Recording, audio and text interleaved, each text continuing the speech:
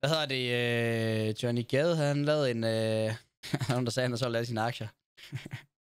Har jeg solgt, eller tager jeg bare pis på jer? Find ud af det i dag, i dagens udgave af Johnny Tittegade indvind.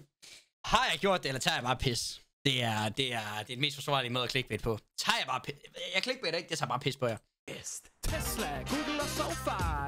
Rød dag, RKI, oh, nej. Nå, er nu en lille bitte afkast havtask. Den giver mig massiv Forventning gains, den start, det er lækkert. Jeg også de fleste af mine gains, jeg har fået på aktiemarkedet, dem har jeg brugt på foder til den, fordi de spiser rigtig meget. Men prøv lige at like videoen, hvis mine nips de og det er de.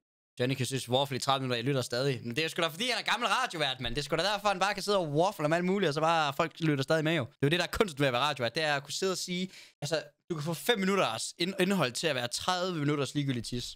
Så prøv lige at gøre det. Jeg er også rimelig god waffle king. Johnny Long Term Gade. Så kender vi ham sat med Johnny til Jesus. Rul introen. Tags waffle er 5 minutter, så er jeg ude.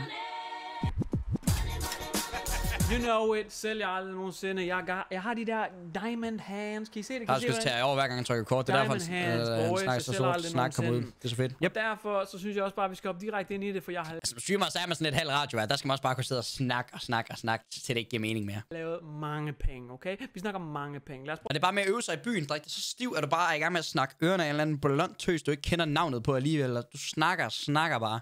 at se her. Øh, Hvor hen, SU? saldo 0, der er tilgængelig 5 dollar. Jeg ved godt, jeg sagde, jeg ved godt, jeg sagde, at jeg ikke vil sælge, boys, men... jeg, jeg, jeg, har, og hvad så? Jeg har solgt krypto. Og hvad så? Jeg har solgt krypto. Og hvad så? Don't judge me, okay? Hvad med, I tager et dybt kig i knæ? Jeg har, jeg har altid haft en indstilling til, i forhold til at sidde og snakke. Det er, at du kan sidde og tænke over alt, du siger, og så kun sige, altså 100% øh, brugbar information. Men, men, men så, så er du også bare sådan den der stille type, der siger så meget, det er også fint nok og sådan noget der. Eller, så kan du bare waffle, og så lukker du 80% lort ud, men så er der også 20% brugbar information. Og så er de øh, 80% der, kan der måske også være noget brugbart alligevel, som man måske aldrig får sagt, fordi man ikke har tænkt over det. Prøv at se her. Nej, fam, helt ærligt, prøv bare at snakke, uden at tænke, bare snak. Jamen, det er, jo, det, er jo, det, er jo, det er jo det, jeg gør. Hvis man sidder og tænker over alting, så kommer man måske ikke ud med nogle af de fede idéer og sådan noget der. Bitcoin, Ethereum, Det er også derfor, jeg lige pludselig begynder at snakke om at lave et politisk parti på stream og sådan noget der. Det er sådan lidt, hvis du ikke kommer op med en idé, og hvis du ikke sådan lige får den ud, så bliver det måske aldrig en realitet. Ethereum, Cardano, frit fald. Ah, frit fald er måske så meget sagt, men de er blodrøde, de er på vej nedad. Og hvor er Johnny? Han Folk, de er fede idéer, folk skal ikke høre dem, fam. De er jo først fede, når det lykkes er to be found, for han har trukket sig ud i tide, så der er ingen kvinder, der blev gravide in the making of this video. Jeg har trukket mig ud.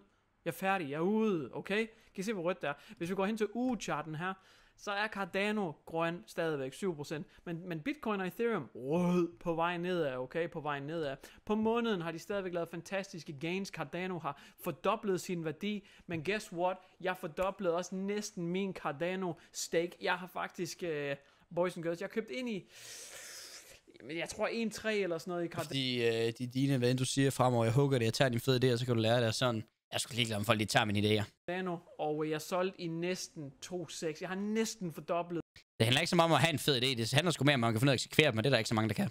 min, øh, min Cardano øh. Det er, det er lige ved. Altså, det er rigtig tæt på. Men øh, det er altså blodrødt, som vi kan se her de sidste par dage. Det er på vej nedad. Og jeg vil faktisk sige, altså det er svært at time markedet, men øh, I'm not gonna lie, boys. Jeg solgte rent faktisk på toppen den her gang. Næsten på toppen, okay? Jeg har set den sidste måned her. Jeg solgte, Det er bare den værste form for investering, der Det er så fedt. øh, hvis jeg lige flytter mit fede ansigt, så I kan se. Det vildeste ved den video er, at den virkelig fremviser det perfekte eksempel på, hvor kortsigtet vi mennesker generelt er. Husk, at du efter selv skal aflevere en del penge tilbage til skatte, da de ting langsigtet og lade tiden arbejde for dig, ikke imod deres spekulationer farligt. Yep. Jeg solgte øh, her et eller andet sted i to... Se- Aktier er for content ligesom gambling, men det er ren, det er ren gambling, det her. Hvis der er noget, jeg synes, der er virkelig interessant, så er det, at jeg åbenbart har... Øh, jeg, jeg så det på Daniels Pengetips Instagram-profil på en story. Og jeg ved så ikke lige helt, hvor, øh, hvor 100 det er. Men staking af krypto er vist skattefrit, hvilket er rimelig pico poco. Det er meget sjovt at se Johnny altid nævne. Time in the market, beat the timing the market. Og han går altid efter et time. True. måske kunne få lidt flere gains. Jeg har ikke solgt helt op på the Ja, vi er ikke helt færdige nu, fisken. Vi mangler lige jeg det solgte sidste. altså på et rigtig fint tidspunkt. Vil nogen måske mene. Andre vil mene, at Han skulle Cardano faktisk have været færdig nu, men der er normalarbejde, der er lidt blevet udskudt med en uge eller to. kommer til at femdoble inden for den nærmeste fremtid. Men de er i gang igen. know, måske gør den, men jeg har brændt nallerne på krypto. Altså, jeg har virkelig brændt nallerne på krypto, så jeg har det fint med, at jeg har trukket mig ud af den her moderknæpper. Fordi prøv at se her, skal jeg prøve at vise jer noget lidt ekstremt? nu er det ikke for at give noget finansiel advice, men har man penge i krypto lige nu, så tror jeg også, at øh, ideen er at, øh, at trække det hele ud lige nu. Fordi det crasher lige om lidt igen. Fordi den, altså sådan rent historisk set, så den måde, det crypto crash altid har fungeret på, det er, at det stiger, stiger, stiger, stiger, det er lækkert, det ser nice ud, lige pludselig, bang, så crasher det hele. Og så, øh, og så er det folk, de tænker, okay, nu er det billigt, nu køber vi. Så de køber, køber, køber, køber, køber, køber, køber. Og så øh, dem, der var ved det første crash, bang, de sælger igen. Og så kommer man bare til at ligge der i et par år, og så kommer det så op igen. Så øh, medmindre man er sådan er 10-årig langsigtet i krypto, så, øh, så, vil, så vil jeg sige, at man nok lige sådan, I don't know, skal trække ud. Men øh, hvis man trækker ud, og så får en gevinst, så skal man beskattes af dem. Men hvis man nu trækker dem over i en stablecoin, så er det stadig penge, der er i krypto, og så har du ikke realiseret nogen gevinst endnu. Men det er ikke for mig. Jeg har fortalt den her historie før, men I må hellere end gerne få den igen. Jeg er allerede ved at være sådan en gammel sømand, der bliver ved med at fortælle de samme, samme viser fra havet om og om igen. Men jeg købte ind, øh, det her det er bitcoin, jeg købte ind nice, her et eller andet sted. Jeg købte ind i 52.000 et eller andet. Der købte jeg ind i bitcoin, ikke også? Boom, Grand Canyon, siger, siger. Ej, du krypto, det tager bare lidt dramatisk Grand Canyon crash her. Vi ses, Johnny. Ses din pengepong. Det er kun mig, der streamer på fredag, så streamer jeg lørdag. Så hjælper vi hinanden med content begge dage. Og øh, det har jeg bare levet med lige siden. Heldigvis så averagede jeg godt og grundigt ned, så da næste bullrun det kom her, jamen så lavede jeg rent faktisk lidt penge, og det var det samme med Ethereum og Cardano og det hele. Jeg endte med at gå all in på Ethereum og Cardano. Men all in all, så har jeg investeret op imod 100.000 i krypto, jeg tror jeg kom ud med 125.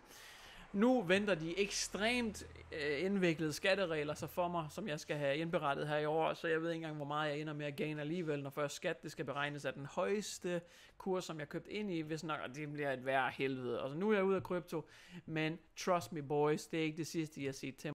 Det er derfor, man bare, i stedet for at sælge sin krypto, så skal man bare smide den over i en stablecoin. Jeg skal ind i det igen. Du kan først blive beskattet af krypto, den dag du realiserer det, i kroner og øre. Og det gør du ikke, hvis du smider den over i en anden krypto som bare ligger stabilt på dollaren. Men prøv lige at se det her enorme bullrun, vi havde. Jeg forventer, at vi kommer herned. Hvis der skal bestemme på handel mellem kryptovaluta, og du skal stadig betale skat og gevinst til selv skats hjemmeside. Hvor står det her? Med igen forhåbentlig. I hvert fald hernede i... Problemet er, at skat de vil jo ikke øh, acceptere krypto som en valuta. De vil gerne beskatte dig af det, men de, øh, de accepterer det ikke rigtigt som en valuta. Så så længe det stadig er en krypto. I de, de 40.000, 35.000. Jeg forventer, ja, det at vi kommer yes. ned igen, okay? Det er ikke sikkert, det kommer til at ske lige nu. Vi, har, vi kan ikke komme ud heller. Hør mig lige her, partybus, der henter folk ud fra byen om fredagen og kører dem ind til klubben, men bussen er fuld af striber selvfølgelig. Er det ikke en fed idé? Ja, det er Jacob Simpmobilen og sådan noget. Ikke hvorfor man har brug for striber. Men jeg forventer det. Prøv at se, vi har lige været For bare patte lavet med lige ansigtet. Hvor er det gorgeous. Kæft, jeg havde ønsket, at jeg havde fået noget mere dernede. Men jeg forventer, altså krypto er så ekstremt volatil, jeg forventer, at vi kommer derned igen. Og så kan I forvente at se Johnny til the Jesus købe ind i krypto igen. Men for nu, der er jeg ude af krypto, okay?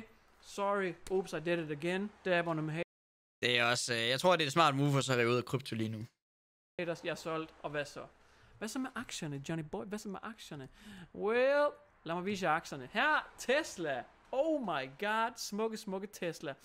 Tesla ført an af Elon Musk, de har jo præsenteret danserobotter, som kommer til at overtage vores arbejde. Øh, altså i 2025 kommer der nok ikke til at være nogen pole dancer længere. I hvert fald ikke øh, menneskelige kvinder. Det kommer bare til at være robotter i kort nederdel, der kommer til at give Jeg fatter ikke en skid, det kan man bolle mig her. Stadig Daniels kæmpe ud af Tesla. Og, og, så altså, der er jo ikke så meget brokser over.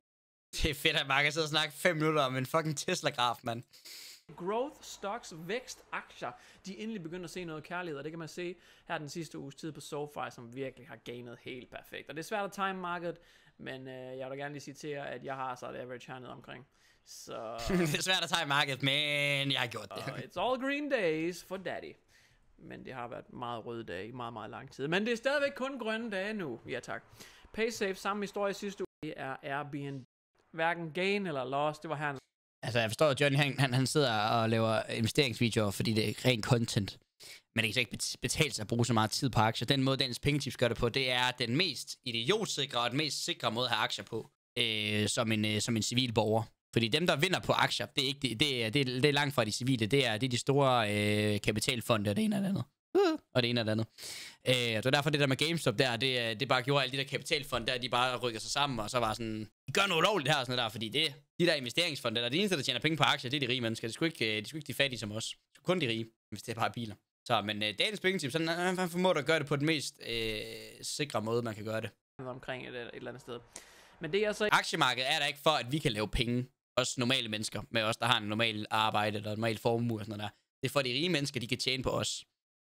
Jeg ikke vidst, det var, at hvis bare jeg havde holdt i en måneds tid længere, så havde jeg Og hvis, hvis, hvis man ikke tror på den teori, så kan man, så kan man tydeligt øh, se på hele den her GameStop-situation, hvad der skete der.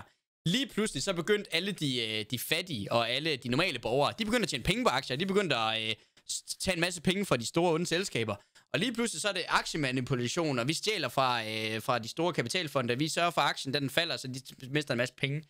Men, øh, men nej, nej, når, når en kapitalfond, de går ind og laver øh, fake regnskab, eller de gør et eller andet, der gør, en anden aktie crasher, eller sådan noget der, så de kan sidde og øh, shorten og så videre. Det er helt fint. Eller de køber sig ind i en aktie, og så pumper de den op bagefter et eller andet. Det må man gerne. Det må de gerne. Pøblen, er det rigtigt? jeg faktisk næsten ramt bunden. Øh, det gør jeg fredag. Fordi at Airbnb, det her det er tre måneder skalaen. Så fik de et lille drop her, men holy bonkers, se det her. Det her det er på uge-charten, hvor Airbnb de virkelig har skudt op. Og det er jo Har dagens penge til lavet en video om Jeg staking? havde 50.000 kroner.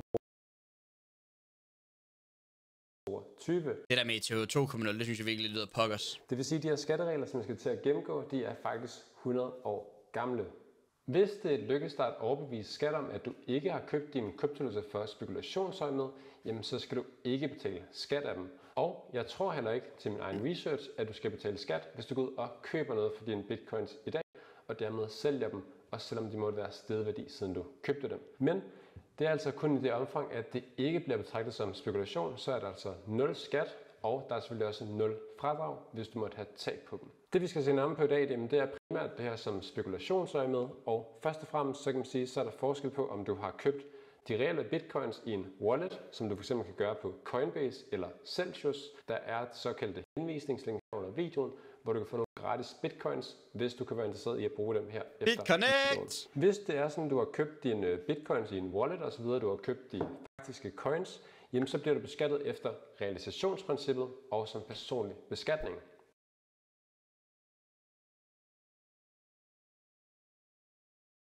Og køb krypto i en wallet, så bliver du beskattet efter realisationsprincippet. Realisationsprincippet, det vil sige, at du bliver beskattet, når du sælger dine coins, altså ikke hvert år, som er lagerbeskatning. Du bliver altså kun beskattet, når du engang sælger dem, eller konverterer dem til en anden coin, som jeg viser eksempler på her senere i videoen. Du bliver beskattet som personindkomst, det vil sige, at ligesom anden lønindkomst, så bliver du beskattet mellem 37 til op mod omkring 52 procent, hvis du er topskatteyder.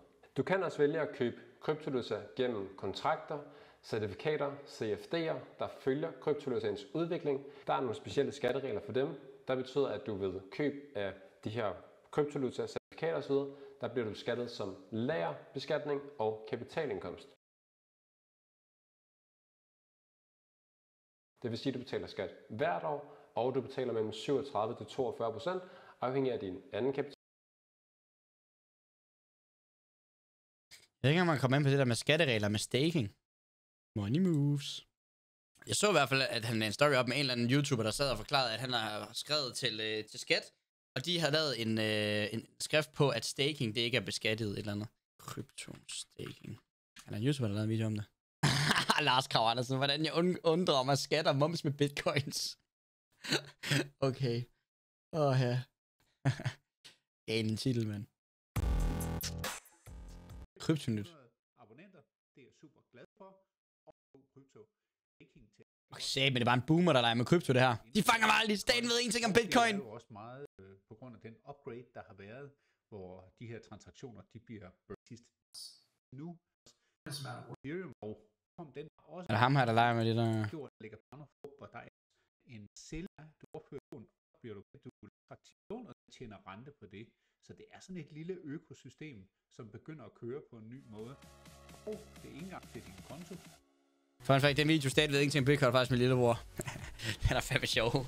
Ah, de kan ikke fange mig. De ved ikke en skid. Staten fanger mig aldrig. De ved ingenting om bitcoin. Morgens Klistrup elsker kryptovaluta. Åh oh, ja. Jo, Philip tager det 4 måneder, mand. Tager det bro. Og Morten Filer tager det 16.